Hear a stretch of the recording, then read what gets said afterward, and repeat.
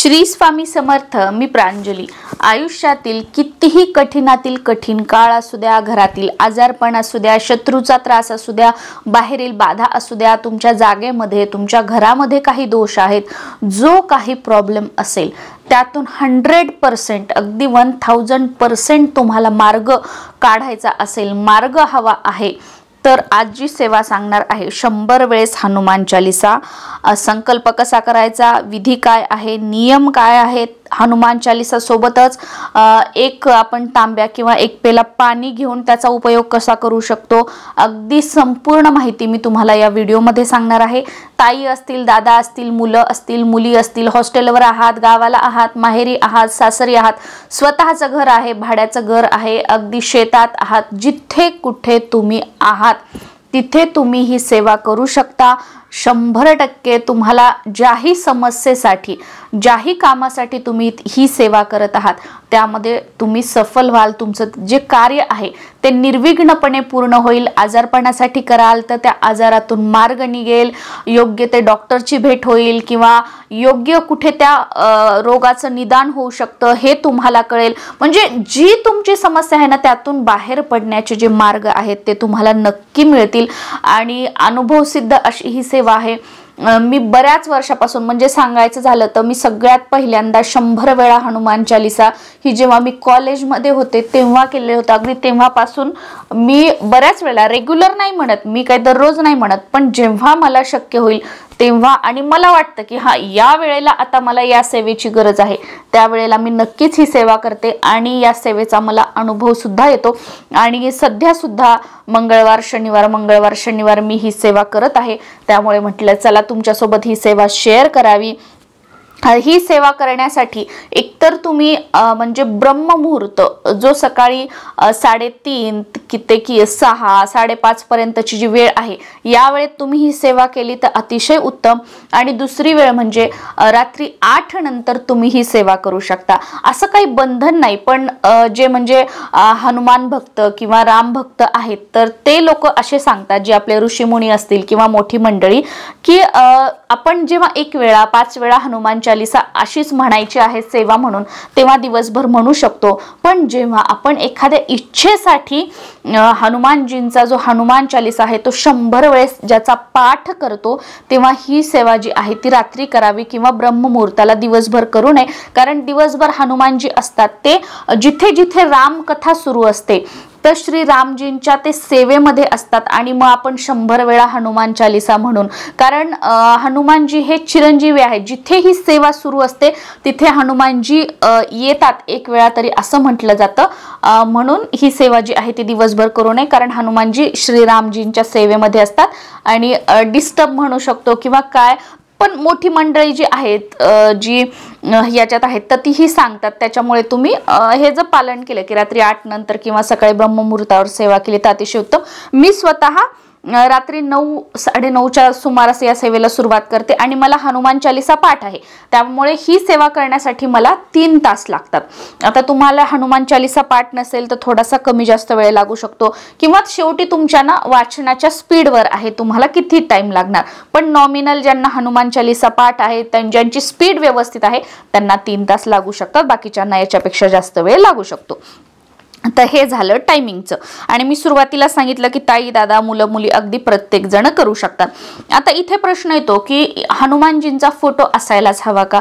तर बरं बघा असेल तर अतिशय उत्तम. आता माझ्याकडे श्रीराम माता सीता लक्ष्मणजी हनुमानजी त्यांचं दर्शन घेताना पायाजवळ असा फोटो आहे. तर त्या फोटो समोर मी ही जी सेवा आहे ती करते. आणि माझ्याकडे जे उडते हनुमानजी असतात ना हातामध्ये पर्वत घेऊन त्यांचा पण फोटो आहे. तर मी त्यांच्यासमोर पण ही सेवा करते. पण तुमच्याकडे फोटो वगैरे नाहीये. तर अगदी तुम्ही देवघरासमोर बसून आसन टाकून बसा देवासमोर दिवा अगरबत्ती लावा आणि तिथे ही सेवा केली तुम्ही तरीही चालेल. आणि फोटो असेल तर एखादा चौरंग किंवा पाठ ठेवा त्यावर वस्त्र अंथरा त्यावर हनुमानजींचा फोटो ठेवा त्याच्यासमोर दिवा अगरबत्ती लावा आणि ही सेवा आपल्याला करायची आहे.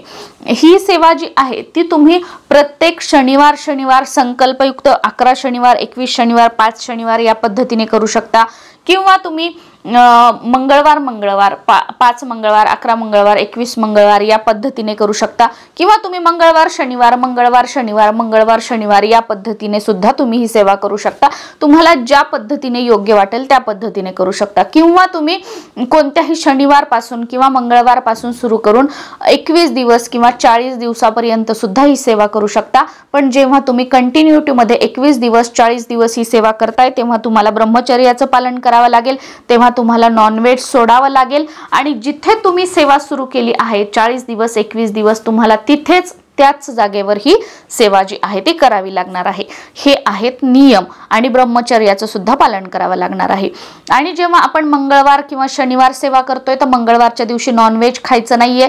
ब्रह्मचर्याचं पालन करायचं.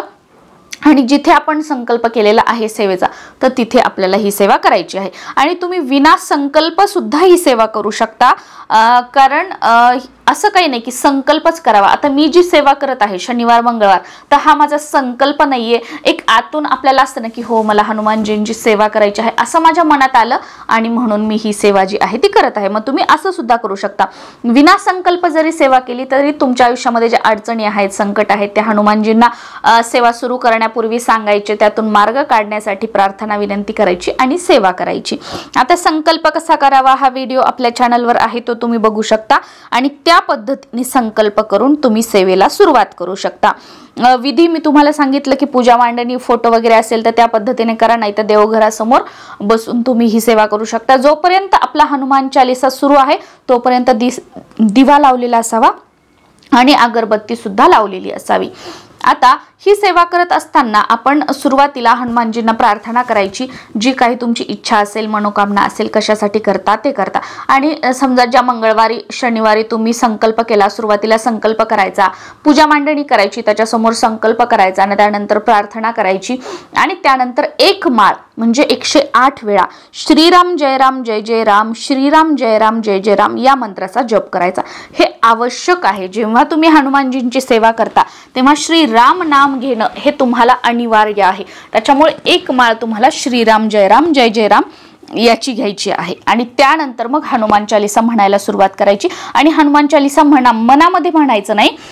किमान स्वतःला ऐकू येईल अशा आवाजामध्ये म्हणायचं. आणि समोर आपल्याला एखाद्या तांब्यामध्ये ग्लासमध्ये पेल्यामध्ये पाणी ठेवायचं आहे. आपल्यासमोर ठेवायचं. जेणेकरून हनुमान चालिसाचा जो उच्चार आहे तो त्या पाण्यावर पडेल आणि ते जे पाणी आहे ते अभिमंत्रित होईल. सुरुवातीलाच हे पाणी आपल्यासमोर ठेवायचं.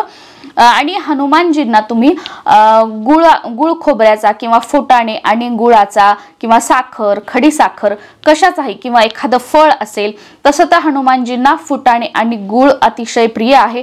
त्यामुळे याचा नैवेद्य तुम्ही दाखवला तर अतिशय उत्तम. बाकी मत जे नसेल तर जे काही तुम्हाला शक्य होईल मी सांगितलेल्यापैकी त्याचा तुम्ही दाखवला तरीही चालेल. त्यानंतर हनुमानजींसाठी एक नैवेद्यासोबत पाणी सुद्धा ठेवायचं आहे आणि हनुमान चालिसा शंभर वेळा आपल्याला म्हणायची. शंभर वेळा हनुमान चालिसा म्हणून झाल्यानंतर परत एक माळ म्हणजे एकशे आठ वेळा श्रीराम जयराम जय जयराम या मंत्राचा जप करायचा. त्यानंतर तुमची जी काही प्रार्थना आहे कशासाठी तुम्ही ही सेवा करत आहात ते हनुमानजींना बोलून दाखवायचं आणि त्यानंतर आपण जे आसन आहे आहे ते सोडायचं आहे. आता ही सेवा समजा तुम्ही तुमच्या घरात एखादी आजारी व्यक्ती आहे बाधित व्यक्ती आहे त्यांच्यासाठी केली आहे संकल्पयुक्त तर हे जे पाणी आहे तुम्ही त्यांना प्यायला द्यायचं आहे अभिमंत्रित पाणी. समजा तुम्ही स्वतःसाठी केली आहे किंवा डिप्रेशन वगैरे याच्यासाठी केली आहे तर स्वतः प्यायचं. किंवा तुमच्या जागेमध्ये काही भीती आहे जागेत दोष आहे घरात भीती वाटते नकारात्मकता आहे तर तुम्ही काय करू शकता? हे जे पाणी आहे ते आपल्या सगळ्या घरामध्ये स्प्रिंकल करू शकता. सगळ्या घरामध्ये तुम्हाला हे पाणी शिंपडायचं आहे. आणि जे पाणी उरलेलं आहे ते तसंच ठेवायचं. ते पाणी जोपर्यंत संपत नाही तोपर्यंत तुम्ही दररोज सकाळ दुपार संध्याकाळ तीन वेळा एक वेळा दोन वेळा जे काही असेल ते तुम्हाला हे पाणी जे आहे ते घरामध्ये शिंपडायचं आहे. तर या पद्धतीने हनुमानजींच्या समोर जे आपण एक तांब्या पाणी ठेवलं होतं त्याचा आपल्याला उपयोग करायचा आहे.